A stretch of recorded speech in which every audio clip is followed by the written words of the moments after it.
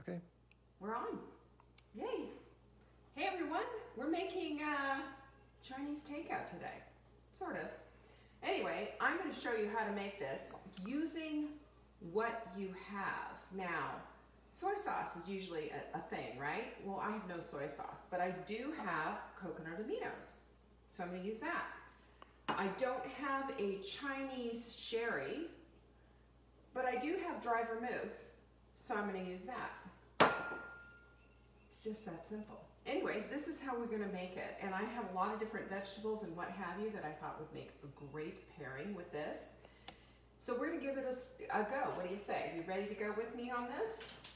Essentially what we're doing is a stir fry with an Asian deliciousness attached to it. So we're going to use a little avocado oil for this because remember, anytime we saute anything, we need to make sure we're using a high heat, a high smoke point type of an oil or fat that we're using.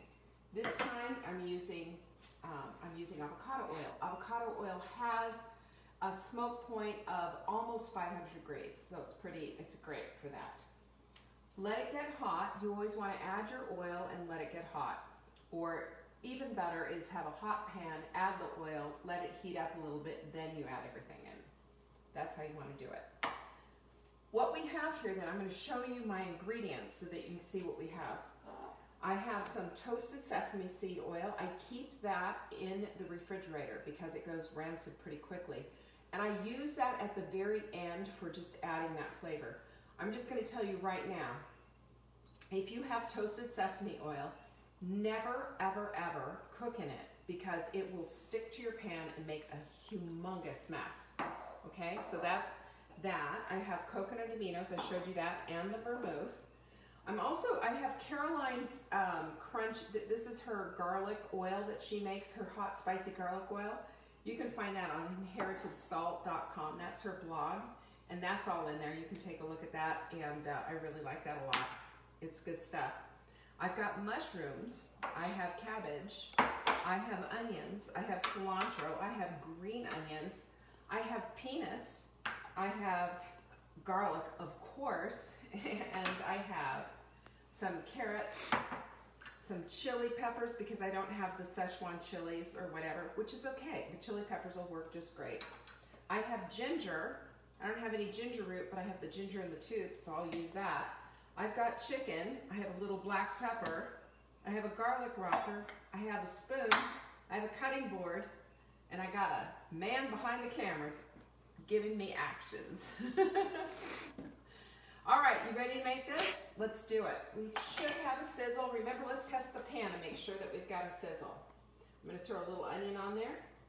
Oh, that wasn't very accurate. Do I hear sizzle? I hear almost a sizzle. Let's give it another second.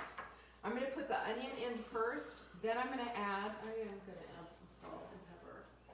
Then I'm going to add the chicken to that. Now I'm going to add a teeny bit of salt only to the chicken when it's cooking. The salt will really come from your soy sauce if you have it or your coconut aminos. But again, you're going to go back and test it to make sure. The other thing that you usually see when you're looking at an, an Asian dish, like especially when you're doing Chinese takeout, one of the problems with Chinese takeout is that they use a ton of sugar. And that's not cool. We're not going to use any sugar for this, so it's not going to taste exactly like it. The other thing that I did not do, and I'm okay with it, is um, using cornstarch or arrowroot or something to thicken up the sauce. It's fine just the way it is. We're gonna let that get a little bit hot. And then I'm gonna add in the chicken. Add these over here. I've got bone broth on the standby in case I need to add a little bit more moisture, but this actually works just fine. There goes the chicken. Now we're using chicken thighs. That's my preference. I find chicken um, well trimmed, all the fat gone. But one of, the, one of my pet peeves is how chicken breast completely dries out. And if you've ever noticed, the chicken that you're eating is, when you're eating Chinese takeout, is always tender. They use thighs. A little bit of salt. and just a little bit of pepper.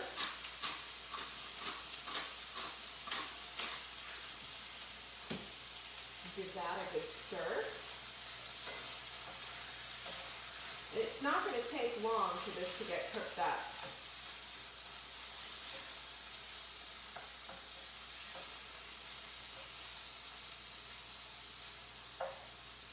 You can add, um, and I'm sure you've seen this before, there's a, a spice blend that has, it's Chinese uh, five spice, and in it they have some, all, I know they've got all kinds of stuff in there that you're probably not familiar with. I'm not that familiar with either. And um, that can add a nice flavor component to it as well. But basically what we're doing here is we're just doing a chicken stir fry. And when this is all cooked through, I will put it into another bowl, which I don't have here, but I, will I'll find one. Um, and then I will stir fry the vegetables, add everything back in, add all of the broth, everything else to it, and then let it simmer for a minute, and then it gets served on rice. Super easy. There we go. Almost done with that chicken. It doesn't take but a minute. And again, we always, you always want to salt and pepper, even if this is something that's just kind of a base, because it does make a difference. It does go into the, the meat, and it'll make it taste better. And this is going to be for when I'm ready to pull it all out. So there you go. it's just that simple. Okay, let's see here. How are we doing? Cook, my friends this high? Is this thing on? Yes, it is. So who tried the cabbage rolls from last from yesterday? The undone cabbage rolls. Anybody? Let me know. And let me know what recipes you've tried that we've cooked here that you've enjoyed and liked. And if you have any ideas for something that you might like that I haven't made yet, by all means, put it into the comments. We look at it, we watch everything that you do. We are watching you continually. I'm just kidding. That's how it is right now. Big Brother's watching. Any questions? Nope. Nobody? Nobody? Nothing? Okay. Almost there. I guess I could have put a lid on it, but I didn't. It's fine. I just want to meet one more minute, get this chicken cooked all the way through. Raw chicken's kind of gaggy.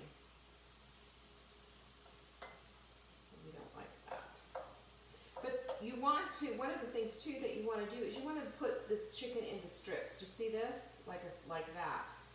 Chicken into strips. And you want to do it as, as much as possible. You don't want to have great big pieces and then small, tiny, weeny pieces. You want to have everything cooked, um, cut about the same size because then it, it takes just a minute for it all to cook up. That should do it. All right, I'm going to put this into, and I'm just basically going to grab the chicken. Some of the onion will come with it, of course, which is fine. But I'm going to leave some of the other onion in the pan, which also is fine.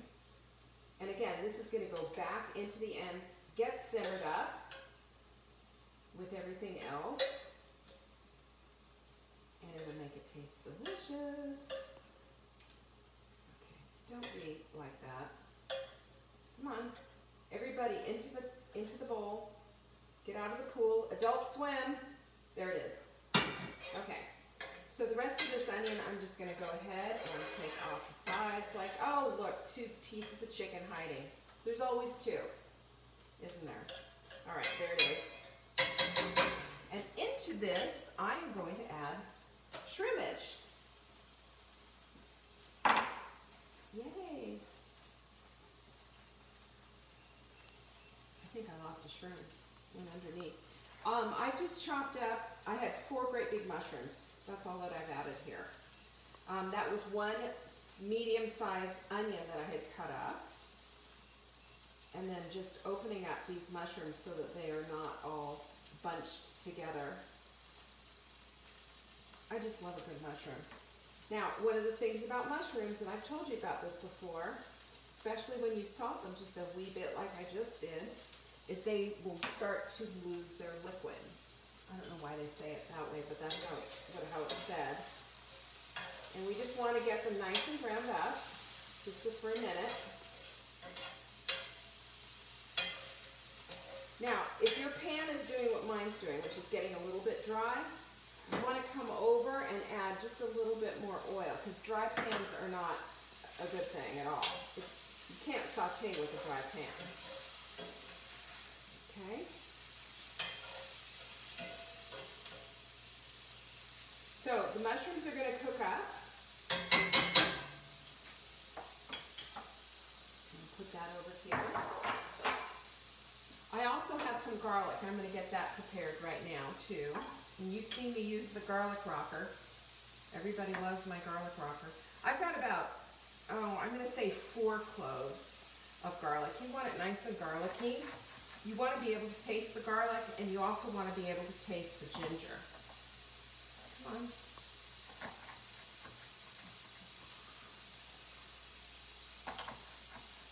And this is, we buy the garlic in the big bags that are already peeled and what have you, which I absolutely love. But, or you can buy them in the clove and then just sit there and laboriously peel it. But we pretty much go through it, the whole thing. Can you believe that? Because we never eat out. But here's the other thing is you can always freeze it if you if need be. There we go. Look at that. That's what I'm talking about. Cook, my friends, cook.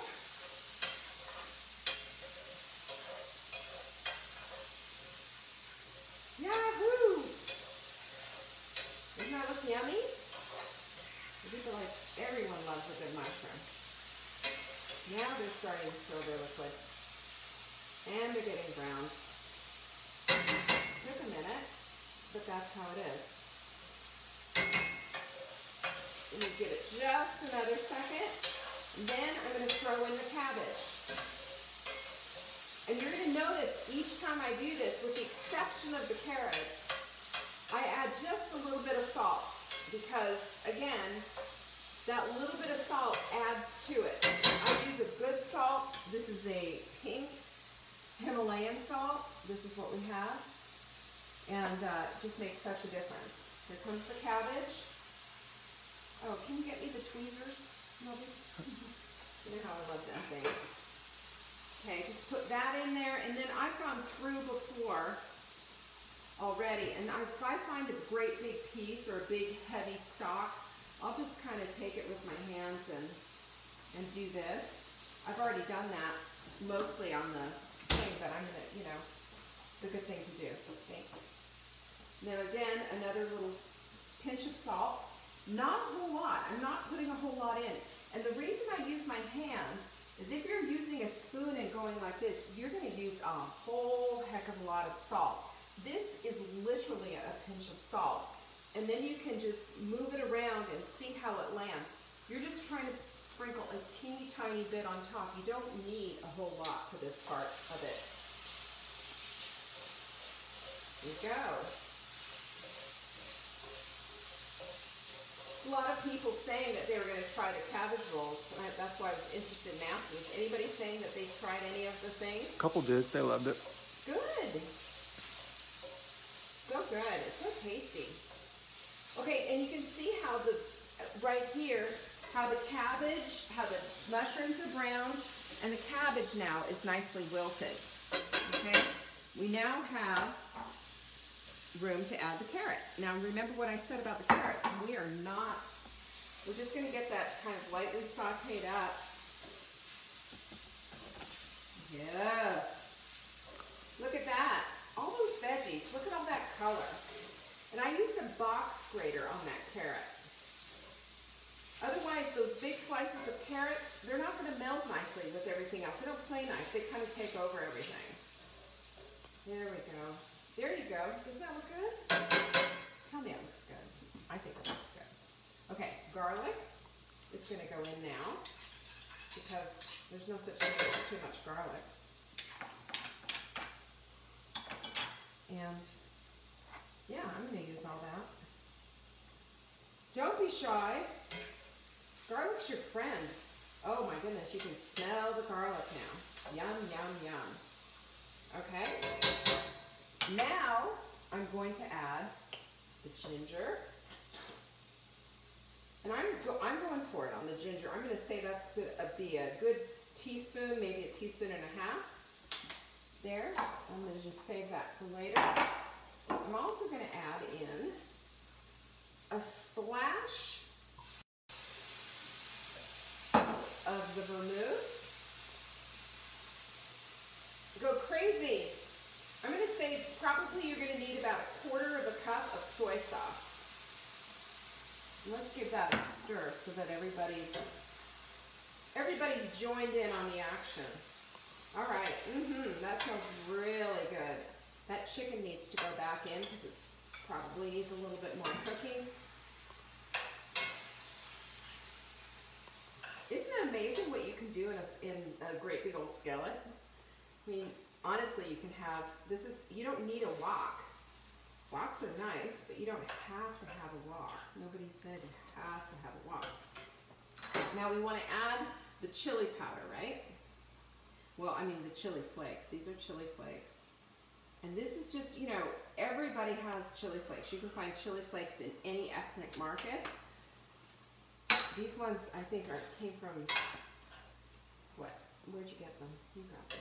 But they, they have a good, a good flavor. And they're really fresh. That's one of the things about ethnic markets is that they're really fresh. Now, right now, I'm going to add some of this because I know this is going to add just a skosh of good flavor. And with all that garlic in there, and it's also going to give it, have a little bit of that oil, which it needs just a slight bit of. Oh, the smell is just divine, I'm telling you. Divine. Probably not going to need that bone broth, but I might just add just a little just because I feel like my signature is bone broth goes in everything except chocolate cake. All right? All right. Look at that. Mm-hmm. I can eat that. Alrighty. Now, for finishing, because everything's cooked, can you believe how fast that went? You're going to put some peanuts in there. I'm going to say I have about a quarter of a cup of peanuts. You could even add cashews, do a cashew chicken. I'm going to add my cilantro because I'm adding, I said it was Asian, you know, I don't know that if they put cilantro in any um, Chinese dishes, but why not? Green onions because why not? And now, you want to get close, up close and personal? Let me just show you this. Look at the sauce that it made. You see the sauce? That's the sauce that it made.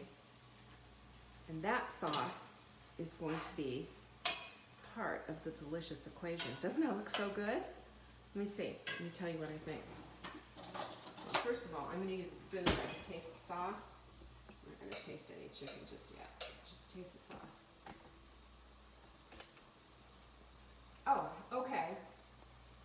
That's a winner. You guys are going to love this recipe. There's a slight kick to it. I added probably, I'm going to say a, a teaspoon of um, those, those chili flakes, maybe a half teaspoon. Just experiment with it. But it is delicious. Serve it on rice. You're good to go. Isn't that yummy? Easy Chinese takeout in a skillet. You're welcome. That's all I have for you. If you'd like to become a member of our Dinner Answers Club, I'm going to call it a club because it is a club. However you eat, we honor that, and we have dinner plans for you with shopping lists every single Tuesday. I'd love you to be a part of it. We have pandemic pricing because we want to serve you, and we also need your support. It's $7 a month, and every Tuesday, no matter what, 52, 52 weeks a year, we send you your, your menu plans. So wouldn't you consider it? Go to savingdinner.com and you will see the, the link right there to, to join. And also, by the way, this would work for the sprint. We start the sprint next Monday, and uh, this is just a very sprint adaptable recipe. Just don't put it on rice. I hope you enjoyed that. And uh, I look forward to your comments. And if you have any ideas of something that you'd like to see cooked, just let me know in the comments. I'm happy to do it. I will see you later. Peace out. Thanks.